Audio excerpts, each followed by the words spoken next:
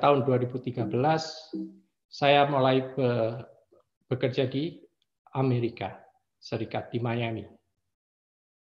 Jadi di situlah sebetulnya um, perjalanan karir saya in terms of the country. Jadi saya terus terang sudah, alhamdulillah saya sudah pernah hidup dan bekerja di lima negara dengan empat di, di lima negara di, dan di empat benua yang berbeda. Dan dari DHL lah itu juga saya berkesempatan untuk mengunjungi banyak negara dan terus terang saya merasa beruntung karena saya tidak pernah berpikir bahwa saya akan bisa mengunjungi hampir semua benua yang ada di di di, di dunia. Saya tidak pernah berpikir bahkan saya akan akan traveling. Saya pernah melihat South Africa. Saya tidak pernah berpikir bahwa saya akan bekerja di Miami. Saya tidak pernah berpikir bahwa saya akan um, travel ke ke South America country itu tidak pernah terpikir. Tapi um, memang alhamdulillah saya diberi kesempatan oleh DHL untuk bisa melihat dunia. Dan ini uh, mungkin buat teman-teman yang ingin uh, bisa membangun karir, karir atau ingin bisa melihat dunia mungkin akan akan akan presentasi saya ini mungkin bisa menjadi guidelines untuk adik-adik bagaimana mengembangkan karir nantinya. So, my roles and responsibility. Jadi kalau tadi Mbak Ratna bilang ya, title saya Regional Senior Director Compensation Benefits and Mobility. Apa sih sebetulnya yang saya tangani itu? Well, sebetulnya ada dua hal di sini, compensation and benefits itu yang pertama, yang kedua mobility. Jadi compensation benefits ini lebih kepada saya um, banyak sekali uh, bekerja atau dealing with um, compensation benefits strategy and management. Dan kebetulan scope of work saya itu benua Amerika, jadi saya responsible terhadap negara di North America dan juga di South America. Dan ada 16 negara in total part of my responsibility. Dan um, mobility, dalam hal mobility saya kebetulan bertanggung jawab dan saya dan tim saya bukan hanya saya ya, saya dan tim saya bertanggung jawab terhadap orang-orang yang um, pindah dari satu negara ke negara yang lain within America's region. Dan um, seperti misalnya kalau ada orang yang mau pindah ke Amerika dari satu negara yang lain, imigrasi tidak akan menerima uh, aplikasi visanya apabila tidak ada tanda tangan saya. Jadi saya benar-benar harus bertanggung jawab apabila secara legal ya, apabila terjadi sesuatu terhadap orang tersebut selama mereka bekerja di Amerika. Seperti itu. Dealing with a lot of numbers yang seperti saya sebutkan tadi, um, saya pada saat um, melakukan pekerjaan untuk develop strategy or manage the compensation and benefits, saya banyak melihat angka karena saya harus melihat data, saya melihat market uh, information, saya harus melihat statistik yang ada. Jadi I deal with a lot of numbers. Jadi bagaimanapun kalau dilihat-lihat juga akuntansi itu kan juga dealing with a lot of numbers. Dan kita kebetulan juga dapat uh, mata kuliah statistik, statistik satu atau statistik dua waktu itu nggak tahu sekarang ya. Uh, saya dapat statistik satu, statistik dua, dan it helps me a lot. It helps me a lot. Jadi jangan dipikir bahwa ilmu yang saya peroleh, meskipun you know the concentration or the field that I work or that I'm working now itu um, um, berbeda dengan apa yang saya pelajari. Ilmu apa pun itu tidak akan ada yang terbuang percuma. Itu pesan saya pada teman-teman. Meetings and calls. Meetings sekarang sudah tidak ada lagi sejak pandemi. Sejak 2000 sejak Maret 2019 kebetulan saya di grounded. Jadi memang saya nggak bisa traveling sama sekali.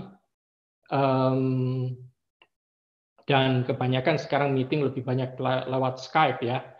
Um, saya nggak, nggak, nggak kebetulan DHL tidak tidak menggunakan Google Meet atau tidak menggunakan Zoom kita banyak menggunakan Skype dan ya kita biasanya pakai video call atau hanya sekedar you know voice call. Terus um, dan terakhir salah satu responsibility saya is to make my team busy, advanced, and happy. Dan saya mau tekankan advance here means that saya bertanggung jawab untuk memberi mereka kesempatan untuk maju. Saya harus memberi kesempatan kepada mereka untuk berkembang seperti itu. That's this is my roles and responsibilities in a nutshell. Jadi pada saat saya bicara dengan keluarga saya, dengan teman-teman saya tentang um, perjalanan karir saya, tentang pekerjaan saya, mungkin mereka mempunyai imajinasi-imajinasi yang berbeda. Pada saat saya bicara sama teman-teman saya, kebanyakan mereka berpikir bahwa oh kamu bisa, kamu ya kamu bisa, kamu punya tim, kamu bisa aja kamu langsung pecat semua orang-orang itu seperti itu. Itu yang mereka pikirkan. Saya punya kuasa. Itu yang mereka pikirkan. Atau waktu itu saya bicara dengan teman eh, dengan saudara-saudara saya, mereka berpikir bahwa setiap hari saya ke kantor dengan pakai jas, pakai dasi, rapi, kemudian yang juga um, saya serius um, selalu. Dan pada saat saya ya, pertama kali pindah ke Singapura, terus kemudian pindah ke Jerman, kemudian pindah ke Amerika. Sewaktu saya traveling, pada saat-saat awal karir saya, saya berpikir saya seperti Superman. I can do anything. Tapi apa kenyataannya? Kenyataannya tidak seperti yang dibayangkan. Kebetulan saya, apalagi di di, di Amerika, um, kebetulan kantor DHL itu di warehouse. Jadi jangan dibayangkan saya ke kantor dengan pakai dasi, pakai jas, enggak. Saya pakai kaos, polo shirt seperti ini, saya pakai jeans, um, dan dan uh, terus terang kantor saya jendelanya itu menghadap ke warehouse. Jadi pemandangan pemandangan uh, dari kantor saya adalah um, uh, container uh, forklift seperti itu. Um, dan lot of stress, a lot of pressures pasti itu.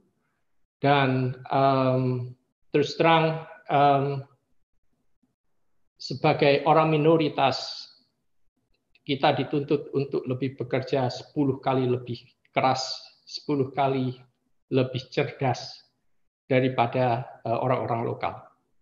And it's given karena bagaimanapun mereka punya ekspektasi yang lebih tinggi. Mereka sudah willing, they're willing to pay us for the relocation, give us the opportunity, dan mereka biasanya lebih punya higher expectation terhadap Eh, orang-orang seperti saya atau orang-orang yang dari luar negeri yang bekerja di negara asing. Seperti itu.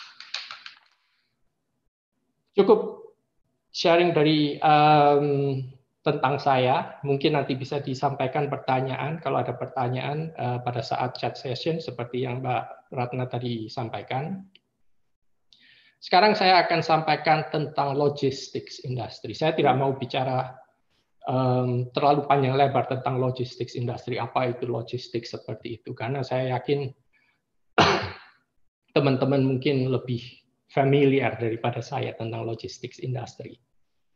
Tapi yang pasti saya ingin sharing tentang bagaimana sih logistics industri selama COVID-19 ini, selama pandemi ini.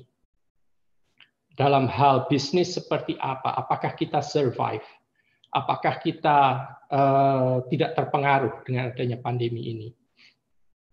Terus terang, logistics industry sangat terpengaruh terhadap pandemi ini. Um, pada saat um, bisnis itu turun, bisnis seperti misalnya manufacturing or um, otomotif atau um, uh, fashion, retail. Kalau kita lihat banyak mall yang tutup, ya kan. Kemudian food industry. Kalau kita mungkin uh, yang lagi ramai di Indonesia tentang Pizza Hut tutup, ya kan. Bagaimanapun pada saat industri-industri itu tutup, itu akan mempengaruhi logistics industry. Tapi kita tidak menafikan bahwa logistics we are part of an essential business Kenapa? Karena ekonomi dunia itu terpengaruh atau ekonomi dunia itu butuh logistik. pada saat manusia itu masih butuh makan, masih butuh pakaian, masih butuh hal-hal untuk menunjang hidup mereka, sedangkan di tempat mereka tinggal tidak ada produksi terhadap hal-hal tersebut atau tidak ada um, mereka tidak bisa menghasilkan hal-hal tersebut itu sendiri, logistik akan selalu dibutuhkan.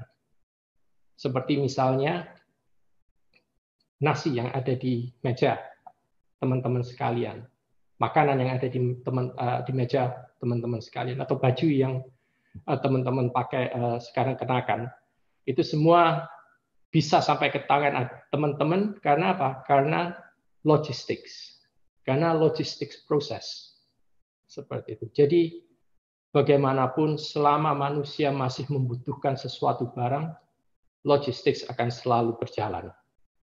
Jadi we are part of essential business itu yang membuat logistics industry meskipun kita merugi terus terang kita bukan merugi kita terpengaruh terhadap pandemi ini tapi biasanya kita lebih survive dibandingkan industri-industri yang lain terutama seperti retail or fashion or manufacturing or automotive seperti itu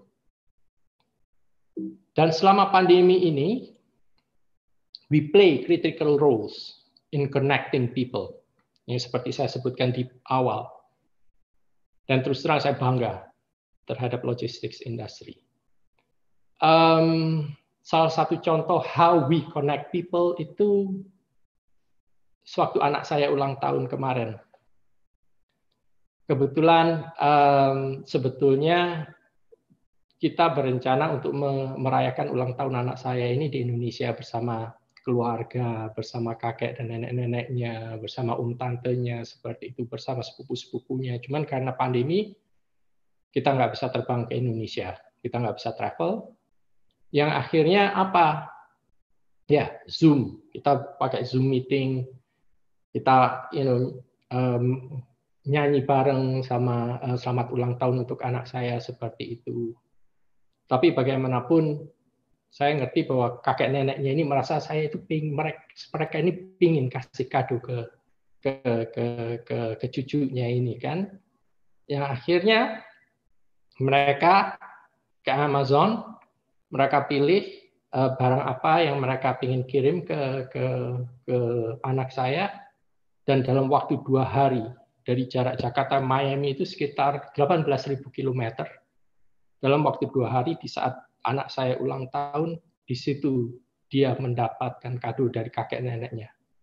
That's how we connect people. Meskipun kita terpisah jarak, bagaimanapun di situ kita bisa merasakan uh, kasih sayang kakek nenek terhadap cucunya di situ. That's how the logistics industry play critical role in connecting people. Dan yang kedua, improving life Sebetulnya di saat seperti ini yang paling tepat adalah saving lives. Ya kan?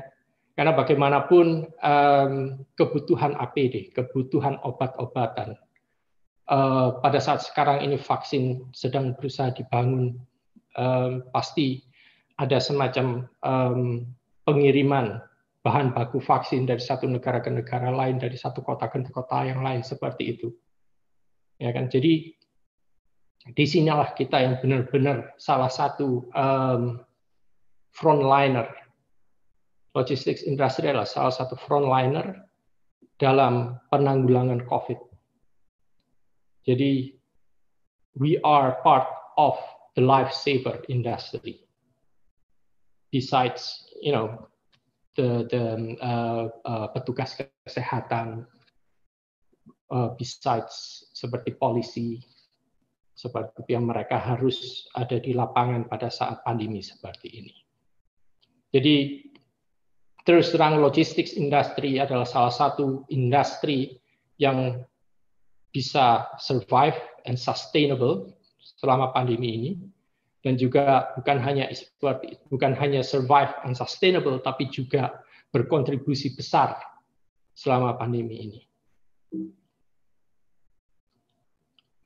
Sekarang saya akan bicara tentang DHL. Siapa sih apa sih DHL itu? So, DHL adalah perusahaan logistik yang uh, parent company-nya adalah sebetulnya Deutsche Post atau kantor pos Jerman. Uh, kita menyebut atau parent company um, dari DHL ini adalah Deutsche Post DHL Group. Dan kita punya lima business units or divisions. Pertama adalah German Postal Service, dan kita adalah yang paling besar di Eropa. German Postal Service is the biggest one in Europe. Yang kedua, e-commerce solution. Yang ketiga, Express, DHL Express mungkin banyak sekali kalau eh, teman-teman uh, lihat di jalan seperti itu um, DHL Express um, truknya truknya atau atau uh, kendaraan-kendaraan dari DHL Express dan kita adalah nomor satu di dunia in international delivery. Kemudian kita nomor dua so we are one of the leaders in freight forwarding business. Dan ini adalah um, division saya dan yang kelima adalah kita nomor satu di supply chain business atau contract logistics. Selanjutnya ini menunjukkan seberapa besar DHL. Kalau kita lihat in terms of financial, kita revenue tahun lalu itu sekitar 63 million euro, 63 juta euro. Dan in terms of employee, kita hampir mencapai 550 ribu employee. Dan kita punya, you know, kita punya pesawat terbang, kita punya um, kendaraan mulai dari we have trucks, we have van, sampai sampai sepeda kita punya. Dari 550 ribu orang yang kita punya, itu tersebar di um, di Eropa, paling besar ada di Eropa, kemudian di Amerika, kebetulan itu adalah region saya, kemudian Asia Pasifik, dan region yang lain seperti uh, Middle East atau Afrika. Dan um, kalau kita lihat dari per, pergerakan atau pertumbuhan um, employee, kita uh, kita punya sekitar dua setengah persen growth rate on average setiap tahunnya dan kebetulan memang tahun 2009 kita ada beberapa restructuring yang akhirnya kita uh, manage untuk uh, menurunkan workforce kita. Dalam hal ini yang saya saya ingin lebih tekankan di sini ya. Kalau kita lihat DHL adalah perusahaan yang sangat inklusif. We respect diversity. Kalau kita lihat kalau kita kita bicara tentang logistics industry, biasanya orang akan berpikir tentang warehousing. Orang akan berpikir tentang uh, lebih kepada pekerjaan untuk laki-laki karena butuh angkat barang, butuh yang lingkungan kerjanya itu adalah lingkungan kerja warehouse atau gudang um, dan lain sebagainya. Tapi kalau kita lihat sendiri secara detail, 34% dari total workforce kita adalah female, dan ini sangat penting yang ini. 22,2 persen dari total upper and middle management positions it is filled in by female employees. Jadi apabila ada teman-teman perempuan yang ingin berkarir di logistics, don't be afraid don't be afraid. It's not really a man industry. Kita seperti yang adik yang teman-teman lihat di sini bahwa 22,2 persen dari total upper and middle management diisi oleh perempuan dan kita punya target 2025 akan diisi oleh perempuan sekitar 30 persen. Jadi jelas sekali kita adalah perusahaan yang sangat inklusif dan we respect diversity. Kita juga um, perusahaan yang sangat um, respect atau invest heavily terhadap employee development. Jadi kalau kita lihat angka di sini, kita invest sekitar lebih dari 83 juta euro untuk employee development. Dan dalam hal succession planning, kita lihat di sini 83% dari management position diisi oleh orang dalam. Jadi apa artinya DHL ini sangat bagus dalam hal employee development dan succession. Jadi kita tidak hanya fokus on the development of you know the the employee skill, tapi juga kita sangat care dan memperhatikan development employee development in terms of career. Kita tidak akan membiarkan we develop the employee in terms of skill and then we just like you know hire someone else from outside. Enggak.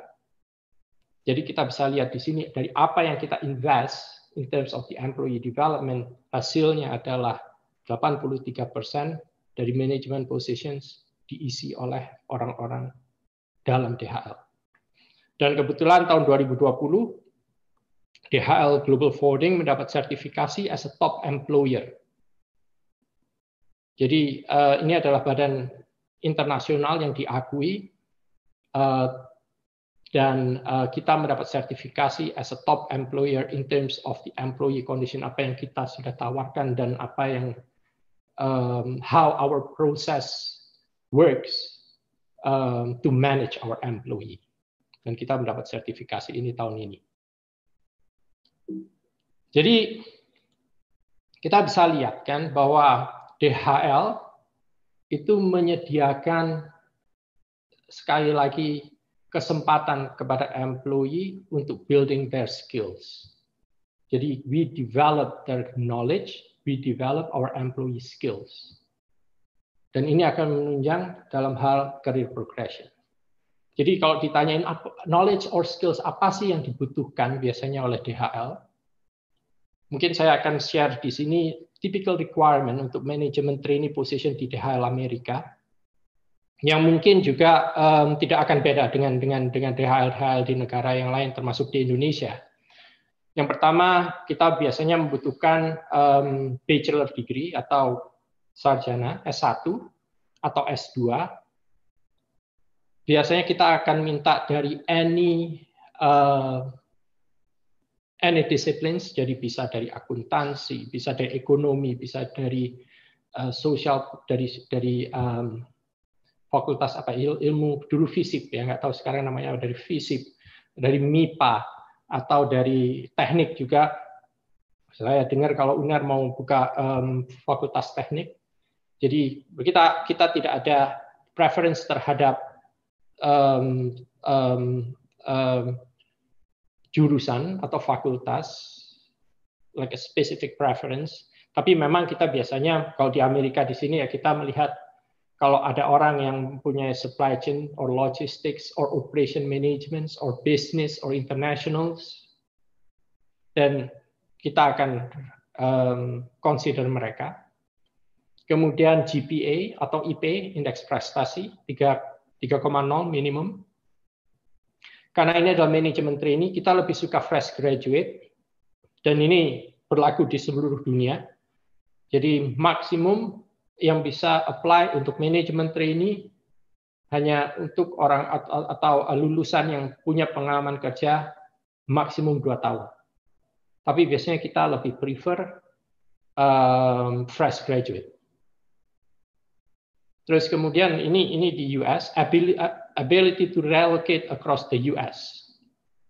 Jadi diharapkan mereka bisa mobile dan saya yakin di Indonesia juga seperti itu um, karena kebetulan kita punya beberapa sites, kita punya sites di Jakarta, head office saya, saya di, di DHL, head office yang di Indonesia ada di Jakarta, tapi kita juga punya site seperti di Medan, di Balikpapan, di Surabaya, dan di Semarang kalau nggak salah. Tapi pesan saya jangan menutup diri untuk oh saya cuma mau di Jakarta, oh saya cuma mau di Surabaya. Jangan kalau bisa coba untuk explore, coba merantau ke ke ke ke ke tempat yang lain, try to break your comfort zone. Kemudian yang terakhir tentu computer skill ya. Karena bagaimanapun uh, zaman sekarang era uh, digitalization kalau kita bisa bilang industri 4.0 um, everything will depend on IT. Ya kan?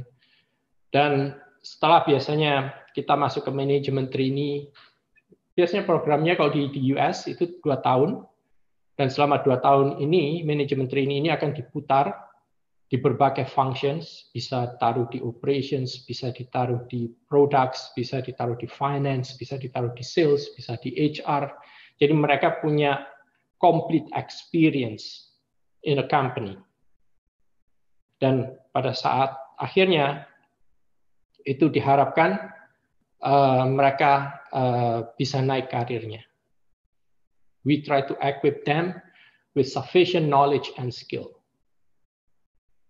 Tapi kalau kita lihat ini kan, masih ada missing piece di sini. Biasanya orang selalu fokus tentang knowledge, tentang skill, tentang uh, ke, ke, ke, kemampuan IT mereka, SQL, Oracle, so on and so forth. Tapi mereka lupa ada satu missing piece di sini. Apa itu? The soft skills or behavior. Jadi menurut pengalaman saya, dua hal yang harus kita punya apabila kita ingin develop our career. The first one is the right skill and knowledge, and the second one is the right behavior. Dan mereka harus komplement satu sama lain. Jadi apa sih soft skill itu? Ini adalah um, um, Wikipedia, definisi dari Wikipedia. Jadi yang seperti saya bilang, soft skill itu adalah kemampuan dari orang, dari dari dari keahlian-keahlian orang dari dalam hal social skill, communication skill, meskipun dan juga karakter orang itu termasuk termasuk soft skill yang akhirnya akan complement the hard skill. The hard skill adalah termasuk juga kemampuan IT kita, kemampuan um, kemampuan teknikal kita seperti itu. Contoh soft skill banyak sekali, banyak sekali. Tapi dalam hal ini saya ingin hanya fokus terhadap empat hal yang terus terang banyak sekali membantu saya. Pertama integrity, kedua communication skill, ketiga flexibility, terakhir resilience yang kita akan bahas sekarang. Apa sih integrity itu? Kalau mungkin saya bisa um, mengambil um, bahasa Indonesia bebasnya mungkin moral. Atau kalau kita kalau saya mau ambil istilahnya Mas Menteri BUMN Mas Erick Thohir biar kita ikrip meskipun saya nggak kenal sama beliau. Mas Erick Thohir bilang akhlak. Kalau kita lihat di TV saya banyak lihatnya di YouTube um, Erick Thohir selalu bilang bahwa dalam pemilihan uh, direksi atau komisaris BUMN saya mengedepankan masalah akhlak. Itu yang dia selalu bilang kan. Um, dan juga um, saya saya baca di berita kalau akhlak itu adalah sekarang menjadi salah satu core value di BUMN. Dan saya saya sangat setuju. Saya sangat setuju karena bagaimanapun tanpa akhlak, tanpa moral, seseorang tidak akan bisa seseorang tidak akan bisa memperoleh trust dari orang-orang sekelilingnya. Salah satu contoh ini yang yang yang yang saya rasakan. Suatu tahun lalu saya itu ke Bali kan, saya jalan-jalan, saya kebetulan uh, beli ikat kepala Bali, harganya 25.000. Saya waktu itu nggak punya uang pas, jadi saya kasih ibu-ibu penjualnya itu 30.000. Saya bilang, Bu, nggak usah kembali, nggak apa-apa. Saya nggak boleh keluar dari tokonya sampai saya mengambil jeruk atau salak. Saya bilang, saya nggak mau, nggak mau kembalian lima ribu ibu. Simpan dia bilang, oh nggak bisa. Kalau gitu, kamu ambil jeruk atau salak. Di situ yang saya ngerasa, I really respect her. Dan akhirnya saya ambil salak kalau nggak salah saya ambil buah salak di situ dan saya bilang luar biasa, luar biasa sekali. Mereka di, beliau tidak mau ngambil uang 5000 hanya sekedar seperti itu. Itu adalah high level of integrity yang saya benar-benar respect dan saya belajar dari beliau. Dari seorang pedagang kecil di Bali. Itu salah satu contoh integrity. Communication skill. Ini ini adalah hal yang uh, terus terang sangat penting di saat seperti ini kan? Karena apa? Ya seperti sekarang ini. Tahun lalu saya sewaktu bicara di depan uh, teman-teman uh, waktu saya diundang juga sama PPKK uh, UNER kan? Uh, saya punya kesempatan untuk physically present. Saya bisa langsung berinteraksi dengan teman-teman sekalian. Saya bisa langsung tanya jawab saya bisa menunjukkan um, how excited I I was at that time. Betapa senangnya saya saya bisa ketemu sama teman-teman yang lain, ketemu Mbak Ratna, ketemu Pak Endi, seperti itu kan. Um, tapi dengan sekarang pandemi tidak bisa terjadi seperti itu. Yes, alhamdulillah sekarang tanpa ada batasan jarak dan waktu, sekarang sudah hampir tengah malam di Miami saya masih bisa bicara dengan teman-teman semua yang ada di Indonesia. Tapi dalam hal ini itu akan sangat men, sangat ini ini adalah hal yang sangat menantang karena apa? Um, karena kebanyakan karena kita tidak bisa bertemu secara langsung, kita tidak bisa melihat raut muka, kita nggak bisa lihat body language dari orang tersebut, ya kan? Yang akhirnya apa risikonya? Risikonya apa yang kita ucapkan itu bisa menimbulkan salah persepsi, salah uh, misunderstanding, ya kan? Jadi um, communication skill is very important, bukan hanya dalam komunikasi interaksi langsung, dalam hal verbal juga, dan juga written communications. Dalam hal email misalnya, pilihan kata itu sangat penting. Dan membaca pada saat kita menerima email atau teks message atau SMS itu sangat penting juga. Karena apa? Itu juga bisa menimbulkan salah persepsi atau salah pengertian. Seperti yang kalau misalnya hal yang baru saja terjadi, kebetulan um, saya dapat teks dari salah satu teman saya di sini. Dia bilang bahwa kebetulan dia orang Indonesia, Mas, saya mau kirim paket hari ini. Hari ini bisa. Saya bilang bisa. Dan saya pikirannya adalah teman saya ini bakal datang ke rumah. Setelah saya tunggu-tunggu ke mana ini setelah lama saya dia nggak datang saya teks lagi di mana mas? Saya pikir bakal ke sini. Dia pikir oh saya saya maksud saya saya kirim paket pakai alamatnya mas boleh apa enggak seperti itu. Jadi again communication skill is very important. Dan juga masalah misalnya ini ya kita bicara dengan orang dengan latar belakang pendidikan, latar belakang budaya atau culture yang berbeda. Penggunaan kata, uh, raut muka, body language, pilihan kata itu sangat penting karena apa? Bisa saja menimbulkan hal-hal atau efek-efek yang negatif. Seperti itu. Dan terus terang di pekerjaan saya sekarang yang paling susah dalam hal communication skill saat pandemi seperti ini adalah pada saat kita negosiasi. Terus terang sangat susah sekali. Karena saya baru saja negosiasi gaji salah satu CEO uh, eh, untuk salah satu region, salah satu sub region di Amerika. Um, itu terus terang tantangannya um, terus terang yang sampai sekarang kita masih belum bisa menemukan titik temu ada beberapa hal juga saya pernah negosiasi dalam saat pandemi ini yang akhirnya saya bilang karena kebetulan lawan bicara saya ini kebetulan dia mulai naik tensinya saya cuma bilang you know what? We talk about business.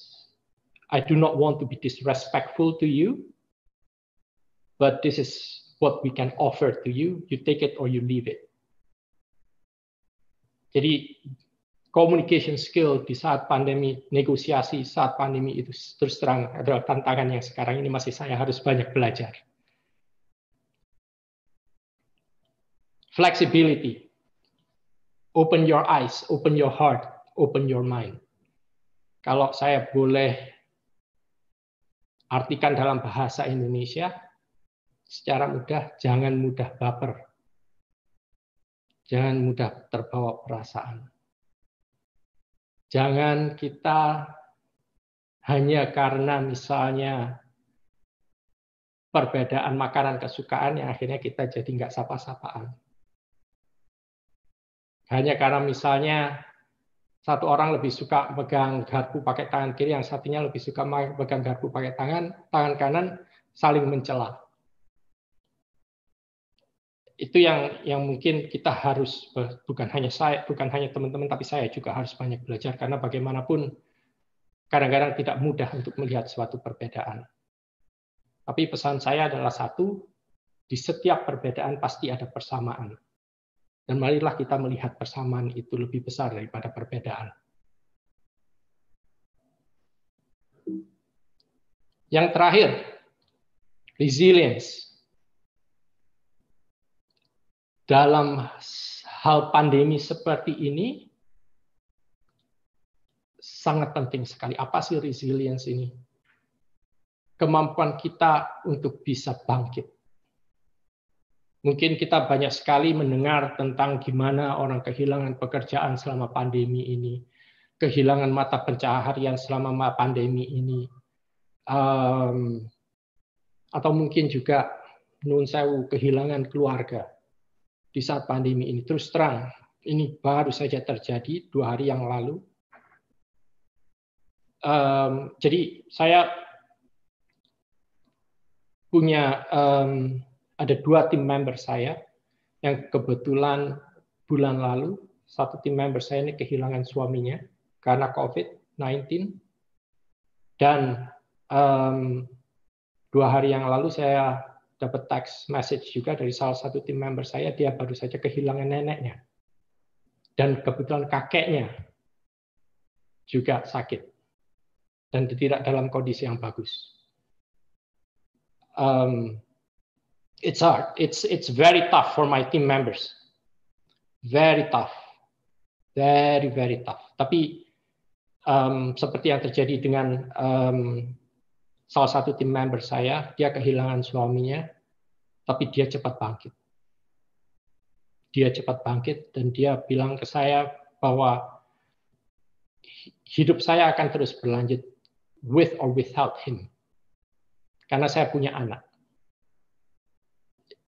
Itu terus terang sangat terus terang sangat emosional buat saya dan dan resilience, kemampuan kita untuk bangkit secara cepat itu sangat penting. Bukan hanya mungkin dalam pandemi ini, tapi dalam hal-hal yang lain juga.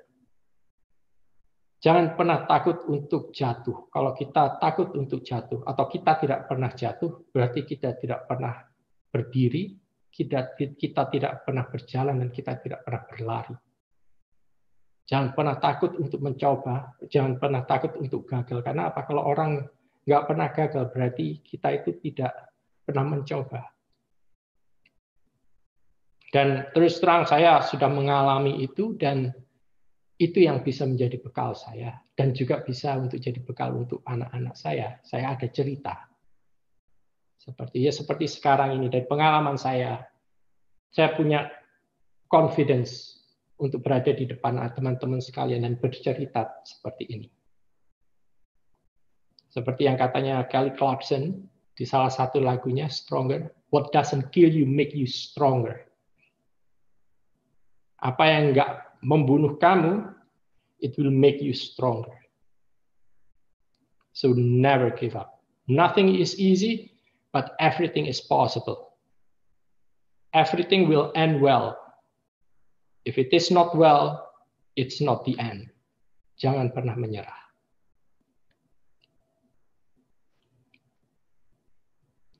Dari soft skill tersebut, apa sih yang saya rasakan dengan soft skill yang saya punya? Pertama, trust. Terus terang, eh, orang melihat saya lebih kepada troubleshooter. Pada saat mereka itu ada masalah, pada saat mereka itu ada problem, bahkan bos saya itu selalu bilang go to daddy, he will take care of that. Jadi trust, trust is not given, it is earned. Seperti itu. Dan bagaimana how it is earned, it depends on you depends on yourself. Yang kedua respect. Dan ini yang yang yang terus terang saya rasakan juga respect bukan hanya dari tim member saya tapi dari peer saya bahkan dari bos saya. Seperti itu. Saya mau ini ini um, saya mau sedikit um, uh, share tentang salah satu success factor saya. Dan terus terang saya tidak punya quotation karena ini saya dapat ini dari salah satu kerabat saya. Setelah saya lulus, saya dipanggil sama salah satu kerabat saya ini, kemudian saya dibilang bahwa ada tiga hal dalam dalam kita berkarir yang kita harus uh, perhatikan. Dan tiga hal ini harus berjalan secara berkesinambungan, harus jalan seimbang. Dan tidak bisa berjalan hanya salah satu. Yang pertama adalah rasional. Apa itu rasional? Rasional is something it is it is actually our knowledge. Apa yang kita baca, apa yang kita lihat, apa yang kita pelajari, kita pelajari dari mana saja. Kita pelajari dari sekolah, kita pelajari dari dari lihat pengalaman orang, kita lihat dari TV, apa yang kita baca di internet. That's the core of the rational knowledge. Atau kalau kita bisa kita bahasakan Indonesia, akal. Yang kedua, intuition, pengalaman rasa. Yang ini sebetulnya um, sangat penting dan kadang-kadang nun sewu untuk teman-teman yang baru lulus atau yang um, akan lulus ya. You have a very strong confidence. Seperti saya dulu tadi yang saya sebutkan. Waktu pertama kali saya pergi apa uh, mulai memulai karir saya saya merasa seperti Superman. Tapi setelah lama saya berkarir, setelah lama saya melihat kerjaan saya di situ yang justru merasa bahwa oh, banyak sekali yang belum saya tahu. Dan apa, apalagi adik teman-teman yang ingin menjadi leader. Karena as a leader, intuition itu biasanya akan lebih terpakai dari pengalaman. Kalau saya boleh Eh, dan ini dua hal ini harus saling berkesinambungan, harus saling melengkapi.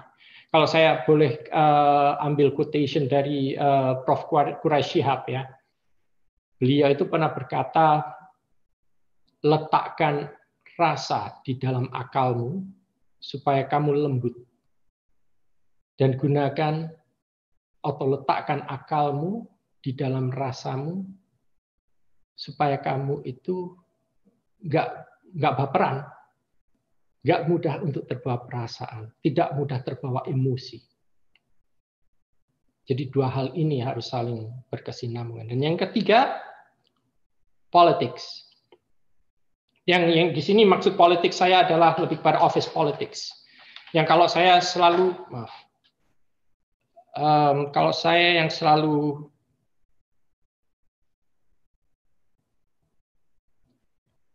kalau saya yang selalu um, share apabila saya punya uh, team member baru, yang pertama kali share it's not about the process, it's not about the tools, it's not about how he or she should do the work bukan. Yang pertama kali saya share kepada team member saya adalah organization structure. Supaya dia tahu tentang dinamika pengambilan keputusan yang ada di perusahaan itu. Siapa yang harus diinform apabila ada siapa yang harus diinvolve apabila ada suatu keputusan yang harus diambil. Siapa yang harus mengapprove keputusan itu. Siapa yang harus diinform setelah keputusan itu diambil dan siapa yang harus mengeksekut keputusan itu. Supaya kita tidak salah langkah. Jadi makanya itu yang paling penting tiga hal ini adalah sangat penting sekali dan itu harus saling berkesinambungan. Dan dalam politik ini termasuk how we build our network. Sekali lagi, network itu sangat penting sekali. Network itu sangat penting sekali. Jadi adik-adik, teman-teman yang masih mungkin kuliah, gunakan kesempatan build your network from now. Baik itu sesama teman kuliah, sesama um, antar angkatan, ya kan, uh, dengan dosen, dengan um, siapa pun itu, dengan siapa pun itu. Karena semakin kuat network kita, itu akan sangat membantu kita dalam hal hidup dan juga karir kita. Begitu, terima kasih. Ini adalah slide terakhir saya.